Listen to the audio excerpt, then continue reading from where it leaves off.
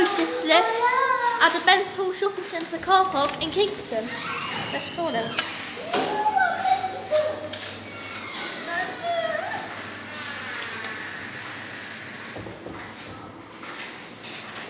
And then we go to Rachel's for our food just before we go. Okay. Because we need oven chips, we need pizza for Sophia, we need something for dinner for Daddy, and we need beers and wine. Daddy wants some beers, and I want some wine. That's tea 12 kilos, 50 pounds, installed 2013.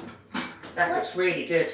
It's like eight surprises inside, but look. Look.